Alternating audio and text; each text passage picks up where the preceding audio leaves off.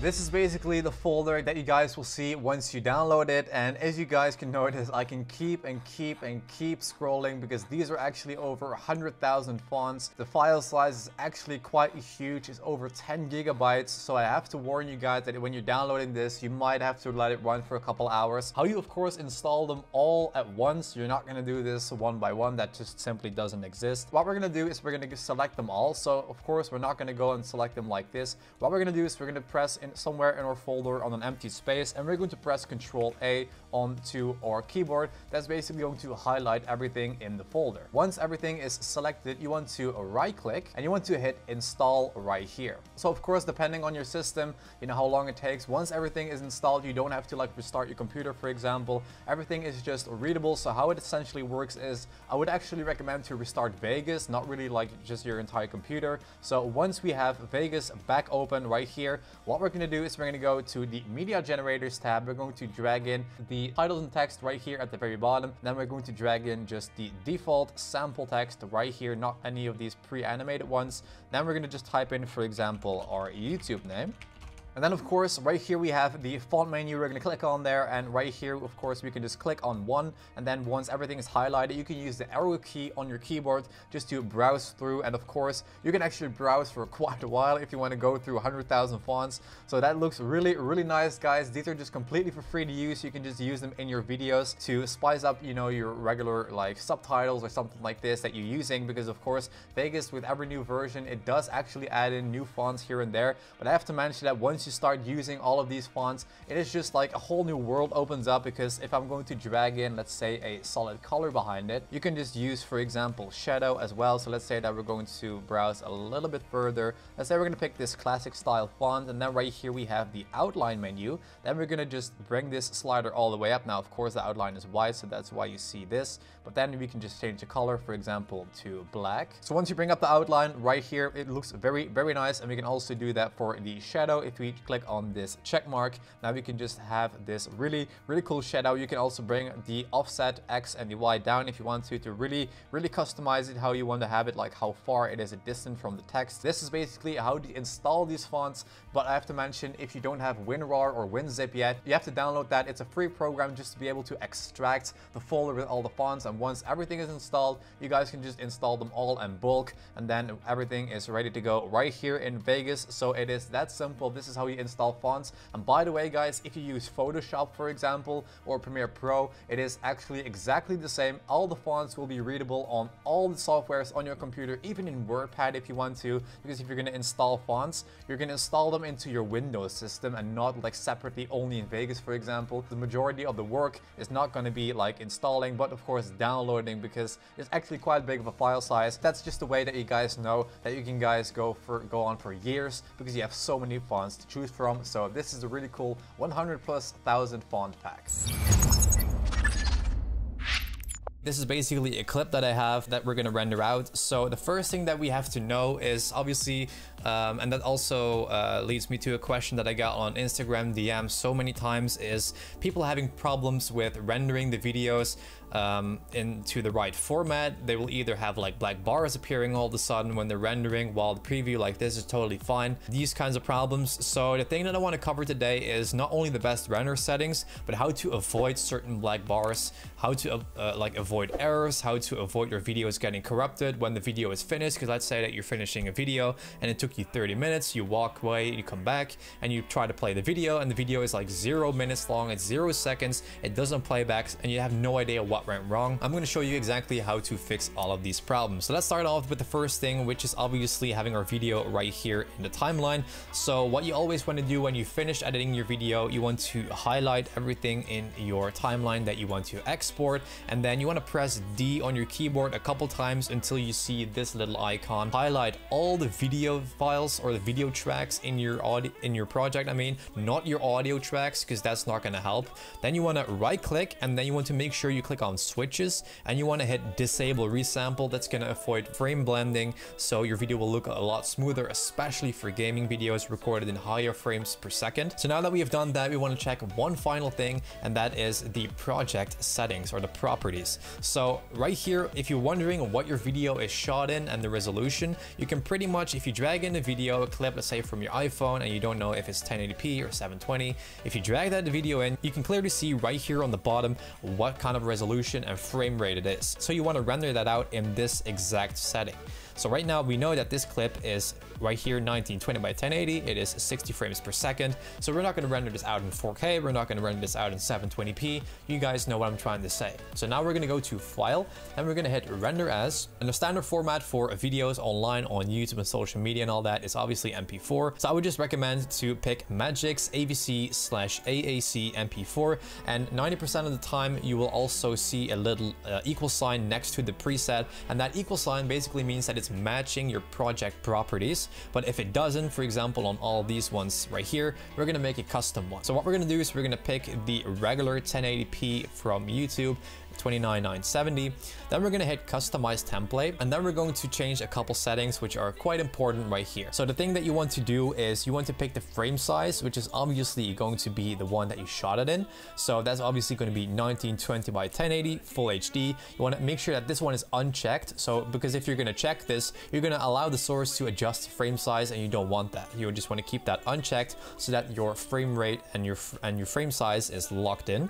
So then the profile is going to stay on Right here, the frame rate is really, really important. So if you filmed your video in 30 FPS, it might look tempting to say like, all right, I want to have the quality sharper or smoother. I'm going to render it out in 50. Well, that doesn't really work because the video is not uh, recorded in 50 to begin with. So you want to always make sure that you match, that you render your video when it's a matching frame rate. So if you filmed it in 30 FPS, you want to keep it on 29970 NTSC, but this video is recorded in 60 frames or animated in 60. So I'm going to drag this one or click on 59 right here. The field order is going to be non-progressive scan. The pixel aspect ratio is going to be 1.0000. The number of reference frames is going to be 2. You want to leave pretty much all of that how it is right here. That looks good. The only thing I would recommend is go to the audio tab. Make sure that you include your audio. Otherwise, if you don't have this enabled, you're not going to render out your voice or your game audio or your music or whatever. And then you go to the project tab and right here it says video rendering quality. You want to choose best in the drop down menu and then you're pretty much good to go. So we're to call this, for example, a YouTube preset 60 FPS. Then you want to hit this diskette icon, which is going to save the preset. And then if you're going to hit OK, as you notice, it shows an equal sign because we just picked 60 frames per second, which is obviously showing right here 59 940. So now that we have done that, obviously some people ask like, why are certain resolutions 1440 by 1080 instead of 1920? Well, that's the thing when you upscale videos or if you want to record something in 4K, for example, you do always want to make sure that you pick 1920 by 1080 because sometimes if you pick 1440, the width is going to be different than your height. You want to always make sure that that one actually fits and that it matches. So now that we have done that, what we're going to do is we're going to give this file a name. Let's say we're going to call this test render. Then the location is going to be, let's say, our desktop. Right here, you can also see our estimated file size is going to be a 9 megabytes big. So that is pretty much uh, the file size we can expect. Sometimes it can be 8, it can be 10 because obviously it's estimated. And then once you hit render as, it's going to render out your video. You will have your box right here where you can also choose to manage the, uh, or, or basically monitor the performance, how many frame rates you're using right now, your CPU usage, your memory usage, all of that. It's really handy. It's not going to change anything to the video, but that's pretty much how it works. And then when your video is finished exporting, you can go ahead and drag this straight onto YouTube. You can upload it onto any other platform that you want to render this out for. And that's pretty much how to use the best render settings for YouTube in 1080p in uh, Vegas Pro 20. But obviously guys, I'm going to cover also the other uh, presets like uh, 4K, maybe even 8K to a certain extent. I just have to see like how these actual settings work because I don't have footage in that high of a quality. But that's pretty much the basics you need to know guys. You have saved your preset and you're pretty much good to go when it comes to rendering your videos for YouTube in 1080p. And I'm gonna give you a little tip. If you want to render out your video in 1080p, for example, 30 frames per second, you just want to go to the project properties and then you want to change the settings as well to, let's say, 30 frames per second frame rate, if it might change. So, but it all depends obviously on how you have recorded the video because there's no need to change the frame rate inside Vegas Pro. Now we are in Vegas Pro, but I do want to mention that you cannot use the regular Vegas Pro 19 version for this. You need the Vegas Pro 365 subscription that is basically Vegas Pro 19, but then in a monthly subscription in order to use this feature. So what we're gonna do is after you have picked up that version, you can find the link down in the description if you open up Vegas Pro and if you installed it, it is very, very simple. So right here on the very top, we have the tools button. Then we're gonna go down until we see text to speech. Now, of course, if you're gonna do this in regular Vegas Pro 19, you would actually see this prompt like you need a Vegas Pro 365 license and all that. But right now I have actually got myself a copy of Vegas 365 just for this video to show you guys this really, really awesome feature. So once you have installed it, this is the box that you will see. So right here, of course, we can type in the text. So let's go ahead and type in, hi, my name is Alex. Welcome back to a new video about Vegas Pro 19. In this tutorial, we are going over the feature which is called text to speech to see how cool and realistic this feature sounds. All right, cool. So now that you've done that, right here we have actually a lot of different settings we can tweak. So right here we also have a lot of different features that we can customize, such as the voice, the audio format, the place. So right here it says create where. So right here, of course, we're going to pick the project media and timeline, meaning that this will be put in our timeline as well as in the project media tab, or you can only just insert this one into your project media, which is this one right here at this tab, and it will not include it into the timeline. I would actually just suggest you keep it on project media and timeline because otherwise you just have to drag it in from the media from the project media tab yourself. So now that we've done that, right here we have the voice, of course. Like what kind of voice do you want? Do you want to have like an English one? Do you want to have a male, a female? So right here, if we browse through, we have all kinds of accents. We have English, Hong Kong, New Zealand, Philippines, Singapore. We have all kinds of different voices that we have right here. So let's go and pick the standard one, the USA, the male, and let's click on the audio format, which is going to be the highest, which is going to be the wave format. And then the place is going to be, let's say, around default. And now let's go ahead and click on playback. Hi, my name is Alex. Welcome back to a new video about Vegas Pro 19. In this tutorial we are going over the feature which is called text-to-speech to see how cool and realistic this feature sounds. So that sounds really, really nice. So let's switch this one to female and let's get an impression of what that sounds like. Hi, my name is Alex. Welcome back to a new video about Vegas Pro 19. In this tutorial we are going over the feature which is called text-to-speech to see how cool and realistic this feature sounds. All right, that sounds very, very accurate. It doesn't sound like this robot voice or like Google Translate that you have just a lot of bunch of words and that they're just putting it together and just pronouncing it like every single word as a standalone word and then just paste it on each other. It's really, really nice. So right here, of course, we have also the US female, which is Jenny. Let's click on that one. Let's see what this sounds like. Hi, my name is Alex. Welcome back to a new video about Vegas Pro 19.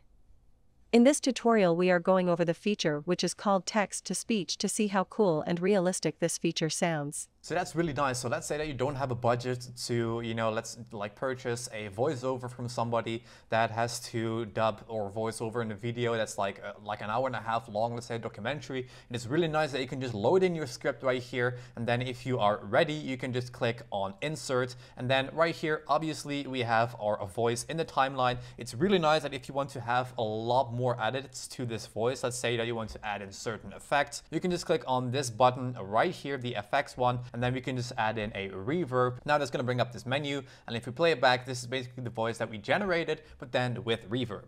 Hi, my name is Alex. Welcome back to a new video about Vegas Pro 19. In this tutorial we are going over the feature which is called text-to-speech to see how cool and realistic this feature sounds. So that's really, really nice. You can also apply like certain amounts of EQ to it and compression to make everything sound exactly the same. So it's really, really nice that you can just create your own, let's say that you have one of these sh like short reels or that you have like a photo gallery that you want to have overdubbed with a voice. It is really, really cool that you can just go back to this feature by going to tools, hit text-to-speech at the very top, and then we can just overlay that onto the videos that we have or the photos that we have. It is very, very cool. Now, of course, I had to point out, like I mentioned in the beginning of this video, you need an actual license for Vegas Pro 365. It will not work in the regular version of Vegas Pro, and that is basically how it works. The link is down in the description if you want to get started. It's a really nice feature. It's really realistic, and that is the text-to-speech feature.